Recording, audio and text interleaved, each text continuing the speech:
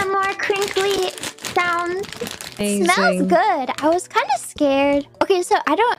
I've told my chat this, but last year around this time, I went absolutely wild with pumpkin spice, and I went to the store and I bought like everything that was pumpkin spice. Did you go to Trader Joe's? Not Trader Joe's, but I should have. They have the pumpkin uh, Oh. bagels, I think, right? Ooh. Holy grail of pumpkin spice. My, you're right. It probably is. Yeah, but I, I got so much stuff, and most of it was bad. So now I'm kind of uh. traumatized by pumpkin spice. I had like pumpkin spice cream cheese and pumpkin spice ice cream.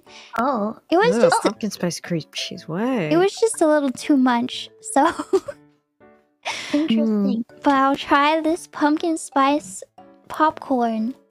Yeah, pumpkin spice makes me nauseous. You to come with me on a ride. This is going super high. I am falling from the sky.